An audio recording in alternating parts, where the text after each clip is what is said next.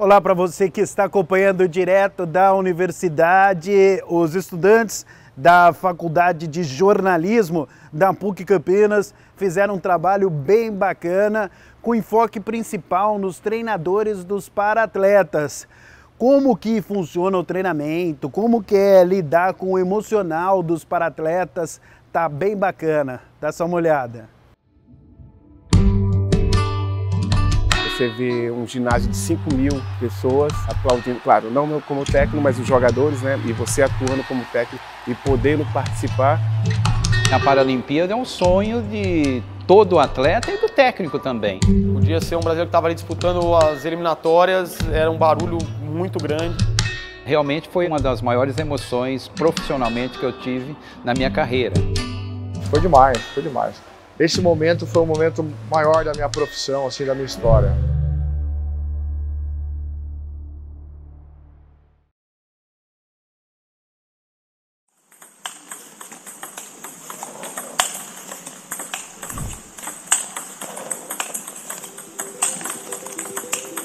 Cara assim que ele não tem esse ego e ele tem muito o mesmo sonho que o atleta tem, sabe? Assim como eu quero ser medalha de ouro, ele quer ser o técnico medalha de ouro.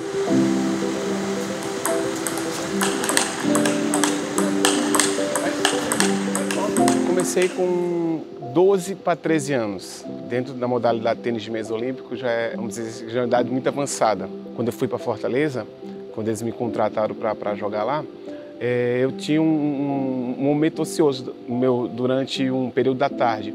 Aí, como eu não queria ficar parado, aí eu montei uma escolinha. E para mim começar a ver um, uma coisa de técnico.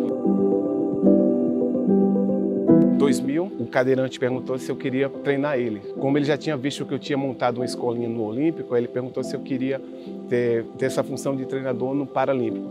Aí eu, eu, eu não perdi tempo, né, e, e queria como eu gosto muito de, de, de, ter essa, de sempre estar aprendendo, sempre ter curiosidade, né, de ter algumas coisas, eu disse, não, vamos, vamos, vamos, vamos começar para a gente ver como é que funciona o Paralímpico. E, e foi logo no cadeirante, né, porque eu não tinha nenhuma ideia como é que funcionava. Eu tinha acabado de, de me formar em jornalismo, né, eu fiz estágio no Jornal Lance, fui num médico ortopedista e ele falou, isso é um, um diagnóstico com um nome forte, mas o seu caso é muito leve, você tem uma paralisia cerebral, você tem, eu consigo falar isso com certeza absoluta, você tem limitações de movimentos, etc, etc. Mas é um nome muito pesado, não se liga nisso, porque a gente imagina a paralisia cerebral os casos mais graves, né, que a gente vê na, na TV, enfim. Então, eu fui descobrir de fato com 24 anos. Eu vim contratado pela confederação, né, para trabalhar no ciclo de ciclo até Tóquio de cadeirante. Tivemos uma reunião, a confederação nos chamou, né? Aí pediu para mim assumir a equipe toda. Então, quer dizer, são junho até agora um, um ano e três meses que eu estou com eles. A gente começou a trabalhar junto no Mundial do ano passado, foi uma competição muito complicada. Esse ano a gente disputou três torneios, os abertos da Itália, da Espanha e da Eslovênia. A gente fez final nos três torneios. Jogou contra os grandes, entendeu? jogou contra os melhores nessa competição. Então, quer dizer, é, o, o, o, nosso, o nosso andamento está, está muito, muito, muito forte, entendeu? Ele está entendendo o que, é que eu estou passando para ele, ele está conseguindo executar na mesa. Eu passando e ele executando. Isso aí é fundamental com relação entre técnico e, e atleta. Nos outros dois torneios a gente fez final, eu perdi para o britânico as duas. Então, assim, a gente chegou, cutucou, paramos no campeão olímpico.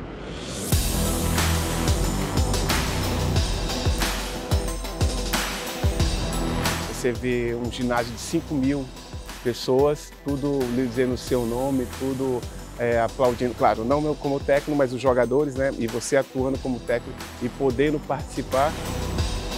E o melhor de tudo que eu tive, por coincidência, ou foi o destino mesmo, que a gente, eu estava na equipe classe 2 cadeirante, que fez o fechamento do tênis de mesa paralímpico, e foi uma medalha inédita que a gente conseguiu vencer a, a atual tricampeão paralímpica, que era a Eslováquia, a gente conseguiu vencer eles num, jogo emocionante e ganhou a medalha de bronze. Ele nem estava ainda com a gente, com, comigo, porque ele estava com os cadeirantes no começo, depois ele assumiu os andantes também. Mas ele falou assim, ó, oh, Israel, você precisa trocar raquete, porque ela é muito rápida para você. Então você precisa colocar em prática um jogo mais cadenciado, você não aguenta um jogo mais acelerado, Só que você apresenta um jogo acelerado. Long, and the Brit has the first game point. Eu trabalhei com, sei lá, três, quatro dos seis melhores técnicos do Brasil, desconsiderando o Paulo aí. E ninguém cantou essa bola. O que eu me lembro dessa parte do, do Israel foi que ele, já- ele- ele criou uma química junto com, com a torcida, que gritava o nome dele lá. Você tem chance de medalha, mas você não é favorito. Então vai e joga, cara, aproveita. Sabe, curte isso aqui, vamos escrever a história que tiver para ser escrita.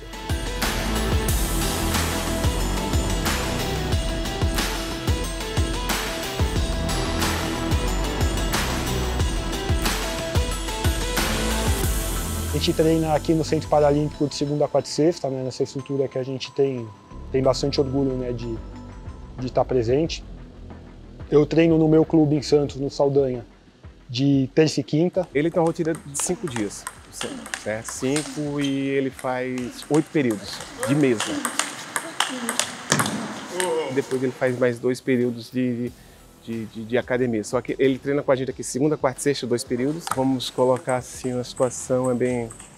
Porque a gente vê muitos atletas olímpicos, claro, eu já tive muitos, né? Que eu já também já trabalhei com, com a preguiça que os atletas paralímpicos não têm entendeu? Eles os atletas paralímpicos com a deficiência que eles têm, vamos colocar que eles conseguem ser um pouquinho mais motivador do que os atletas olímpicos, entendeu? Claro, estou botando algumas do que eu participei. Nós levamos 30 atletas, dos 30, 23 conseguiram medalhas. Só no individual foram 19, então quer dizer, foi um momento fantástico para a gente.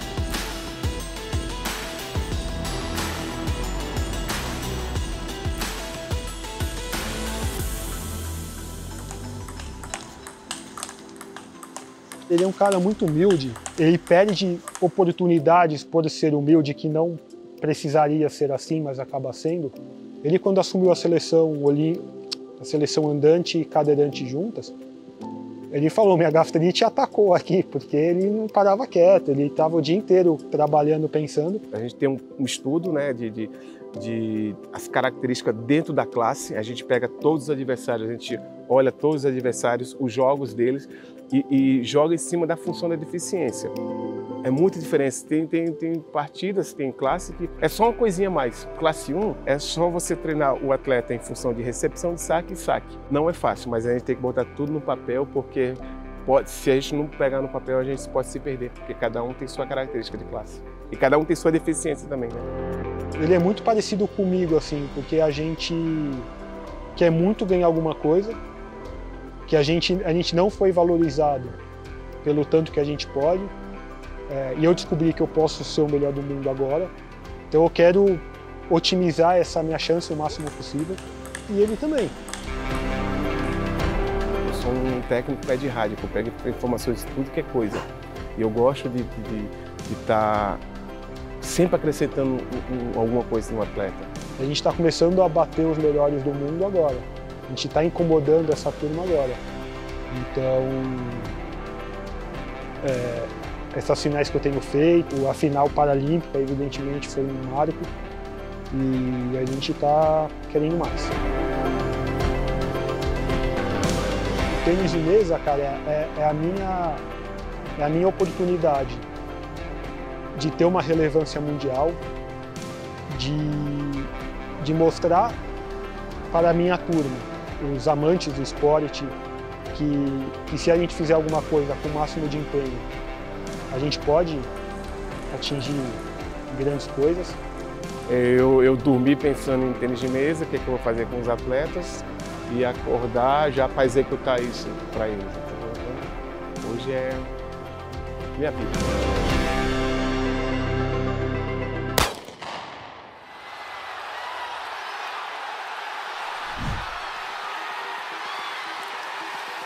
Esquilo, ele se alegra, ele, por ser uma pessoa que tem um companheirismo enorme, um coração enorme, é, ele, tá, ele pergunta sempre se a gente está bem, até o, nesse, no, no último competição que a gente tava, ele me ligou e falou, o que, que, que tá acontecendo, que você tá quieto no quarto, tá triste? Eu falei, não, tô triste não, só tô concentrado.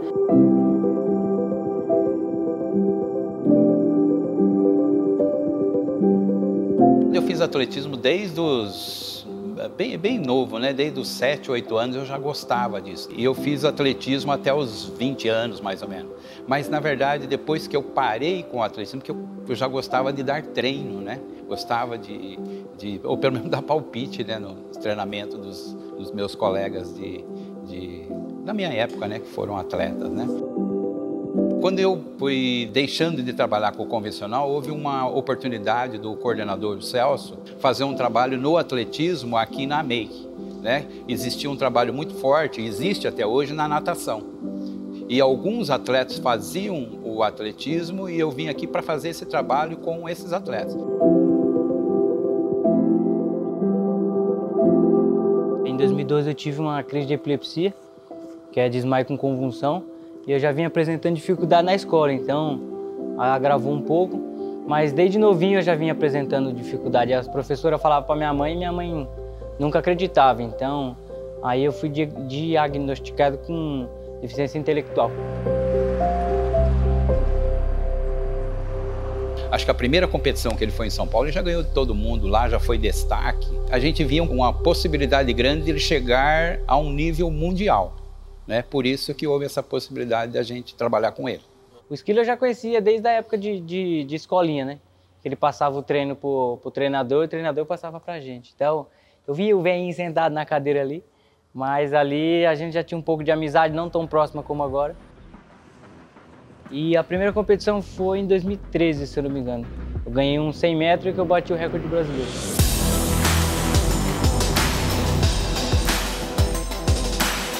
Paralimpíada é um sonho de todo atleta e do técnico também, né? É, realmente foi, acho que, uma das maiores emoções profissionalmente que eu tive na minha carreira, já que o Daniel, a gente tinha uma expectativa muito grande, inclusive na cidade, que ele pudesse é, ganhar uma Paralimpíada. Vixe, foi bastante importante, né? É, o que muita gente não sabe, é, na Paralimpíada a gente estava machucado. Acabei tendo uma lesão no ligamento e por ironia do, do, do, destino, um mês antes, dois meses antes, o coordenador me chamou e falou, ó, você tá fora. Falei, não. Dentro de casa? Mas nem a pau. Falei, não, nem que arrebenta o pé. É só no momento né, que chega ali para competir mesmo que a gente vê como que muitos atletas acabam nesse momento fracassando, né? A parte psicológica é muito importante. E o Daniel, ele tem essa vantagem, ele, a, a parte psicológica dele é muito boa, assim, com relação à competição. Final of the men's 400 metres. T20.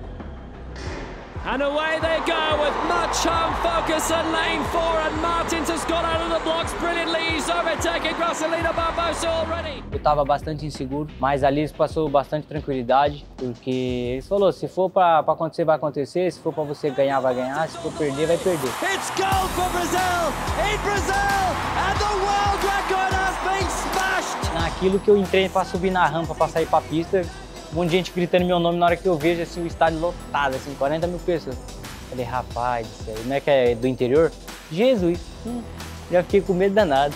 Mas graças a Deus deu certo, a gente conseguiu bater o recorde e pude fazer meu dia mais feliz, não, não só meu dia, mas sim minha vida, a família, minha família também ficou bastante feliz e meus amigos. That's twice in this stadium this year that Daniel Martins has broken the world record.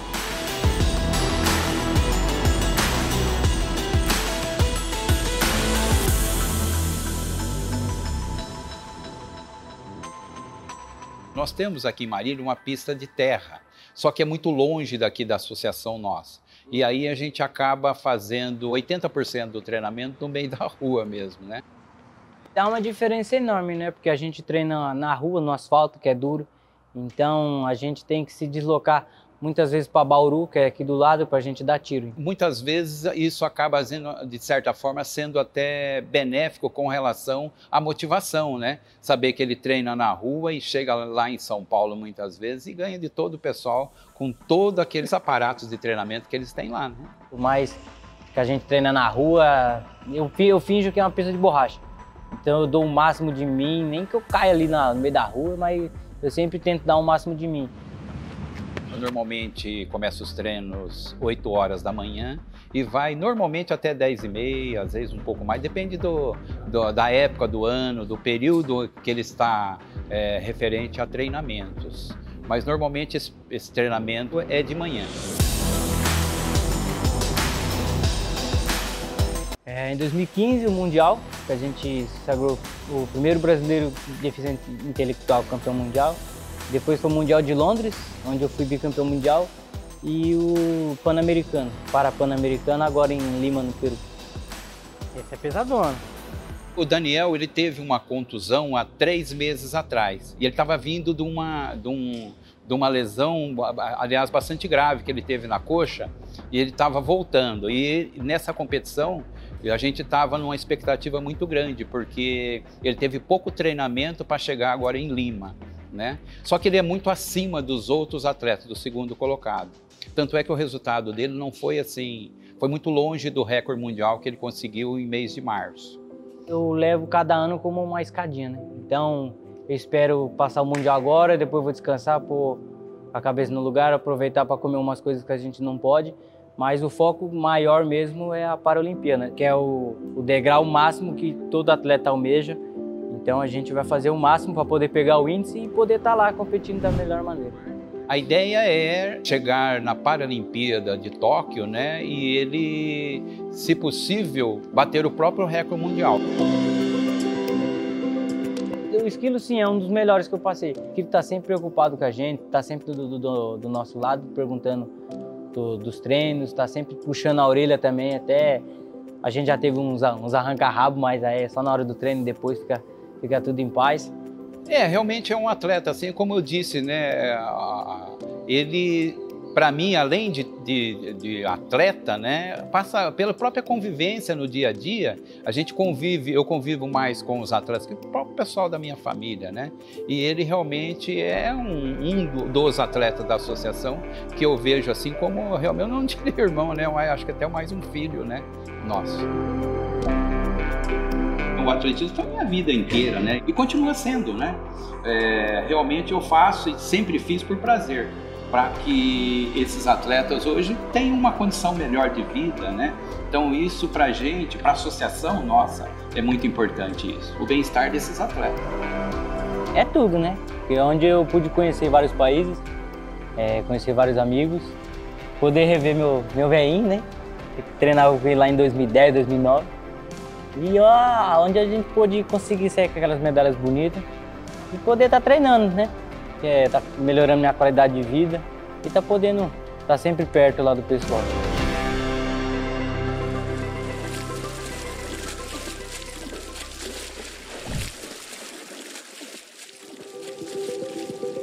Olha, eu, eu com o Igor né, não tem nem como não falar aqui, né? A gente, família se encontra, família se reúne, a gente procura ter uma vivência fora, porque eu sei que isso é importante para que aqui seja o mais prazeroso possível. Então eu procuro sim me reunir com o Léo, com o Igor, procuro ter uma amizade com eles fora, porque isso aqui também é passageiro.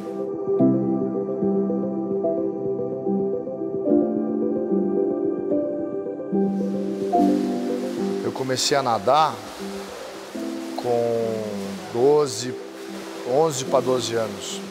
Foi um problema respiratório que eu tive, na verdade. Não foi nem uma opção de gosto. Entrei por ordem médica, depois peguei o gosto. Comecei a nadar já um, um pouco mais tarde, eu já tinha 14 para 15 anos. É, eu mudei do interior para São Paulo. Então, como eu tinha acabado de chegar, não tinha muita, muita atividade fora o colégio, eu comecei a nadar. E nadei mais uns 3, 4 anos, mas só de forma ou escolar ou amadora? O interesse veio do acaso, né? Então foi na raça, foi conversando, né? Sobre as particularidades para conseguir chegar num, num treino bacana. Hoje eu fiz os cursos do Comitê Paralímpico, que são excelentes, e também sou pós-graduado em natação pela FMU. É, quando eu, a partir do momento que eu entrei, em 2014, que eu vim para assumir a, a, como head coach da, da seleção, eu comecei a estudar mais, até para poder também, porque uma das, uma das, das responsabilidades é desenvolver o curso de treinadores. E aí eu fiz os, os cursos, todos os níveis. São três níveis né, de habilitação, então eu fiz os três níveis para poder também começar a, a, dar aula nesse, na educação paralímpica. Eu já era treinador aqui, treinava uma categoria de base, isso há quase 15 anos atrás. Aí o Daniel apareceu, que ele tinha aprendido a natação e precisava praticar para competir. Conheci o Daniel em 2010, num, é, primeiro foi numa, num treinamento em altitude, eu estava com outro atleta é, paralímpico, o André Brasil, a gente estava fazendo um treinamento na Espanha, num, num centro de, de altitude. E quando a gente estava indo embora, o Daniel chegou. Foi o meu primeiro contato maior. O Igor aí teve quando eu comecei a nadar, então algumas competições eu fui com ele, tipo meu primeiro jogos abertos, primeiros jogos regionais. Pude disputar com o Igor, que foi o início de tudo. Então eu nadava ali até no convencional ainda, então a gente ia para muitas competições do convencional. Com o Léo eu fui para o Parapan Pacific o ano passado, e aí teve as competições esse ano, né? Mundial e Parapan, que foi aí uma junção entre o Igor e o Léo.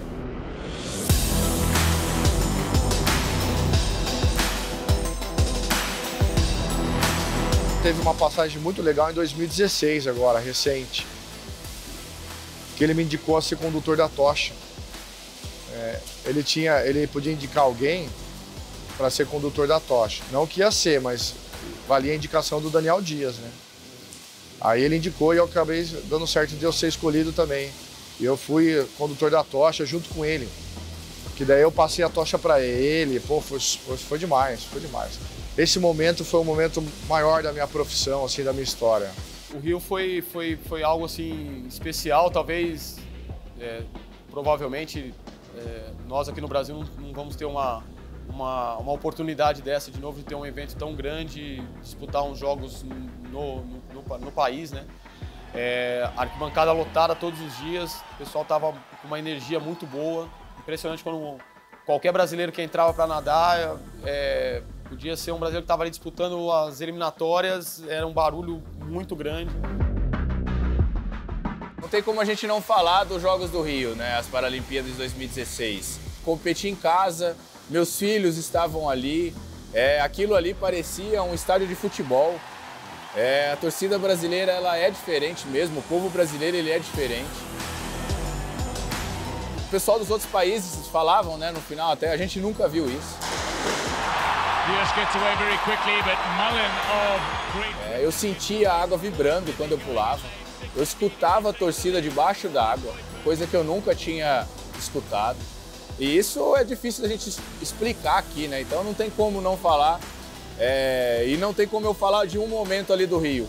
As nove conquistas, né? E eu tive o privilégio de ganhar nove medalhas ali no Rio, né? Então, nove vezes no pódio, nove vezes é, mergulhando e nove vezes escutando aquela torcida.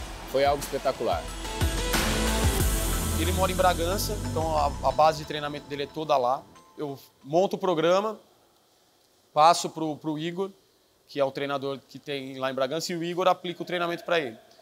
A cada 15 dias eu vou para lá, passo um dia lá é, para pegar o treino, para ver como é que tá.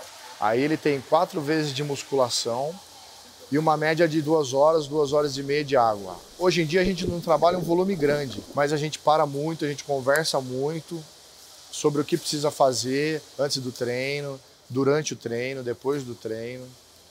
Ele é um velocista, então não tem que fazer muito volume hoje em dia. É, hoje é uma rotina muito puxada, né? A gente fez algumas mudanças no programa para realmente evoluir, melhorar e tá nadando para as melhores marcas. Então hoje eu treino academia, são quatro vezes na semana e treino, são de cinco a sete treinos semanais. E aí a gente quebra a cabeça aí para conseguir juntar tudo isso em cinco dias da semana. Ele me corrige onde precisa e eu tento absorver aquele máximo ali desse dom, desse talento que ele tem de, de ver coisas que muitos eu sei que não veem. É um cara que, que tira o melhor de mim, né? E até mesmo quando eu falo, pô, melhorei, acho que não dá, ele. Não, dá para melhorar muito mais ainda.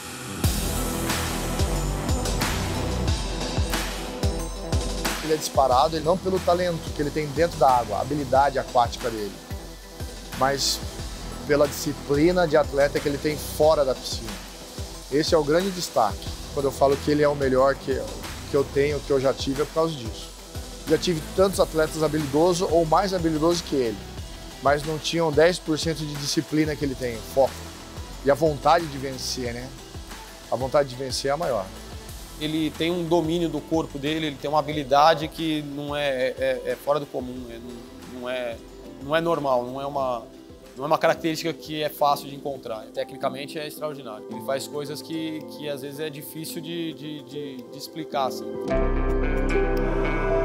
Somos isso mesmo, não é porque vocês estão aqui, mas quando eu estou ali dentro e ele aqui fora, até a gente brinca que, que muda, né? Parece que liga uma chavinha ou você aperta um botão ali que, que a coisa fica séria, vamos dizer assim, né? Um, uma diversão séria a gente foi criando aquele laço de amizade e quando eu né, para casar, em nenhum momento eu hesitei né, de, de, de, chamar ele, se ele aceitava ser o padrinho, pela amizade que a gente veio construindo nos anos da nossa vida.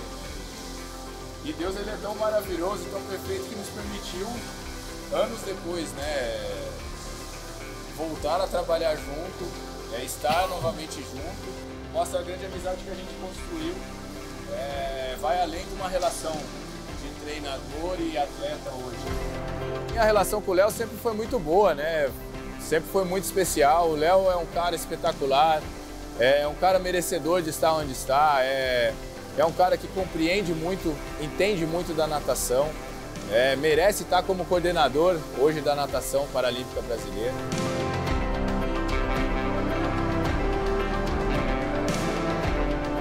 prioridade é, é, a natação, é o que eu me dedico é, 100% a fazer. É, hoje é minha prioridade. Natação para mim hoje ela é, é tudo, né? É difícil até definir em uma palavra ou até mesmo em palavras. A vida. Só tem uma coisa que eu não gosto dele, né? Porque ele é curitiano, eu sou São Paulino. ah, zoa, opa. Ah, tem que aproveitar, né? O São Paulo é. não ganha nada faz tempo. Ele, ele tá então... numa fase boa, mas ele tá numa fase melhor do que a gente agora. Mas ele já tem, sempre eu gosto de lembrar Olha, o passado, né? A nossa fase não tá boa, mas ainda assim tá melhor do que a deles. Em frente ao prédio onde a gente tava, existia um churrasquinho lá, que eu achava que era o McDonald's. E um dia eu marquei com ele, né, pra gente, ó, oh, vamos comer um, um lá no McDonald's. E eu fui nesse McDonald's, fiquei esperando e ele não apareceu. E eu comi lá tal. Aí no outro dia, ele falou, vamos no McDonald's? Não, vamos. Só que aí viraram a roupa e eu fiquei quieto, né? Aí eu falei, pô, se eu falar pra ele que eu fui num, num outro local, né? E ele, ele, ia ficar zoando comigo. Aí eu fiquei quieto, só que eu contei pra ele depois disso aí.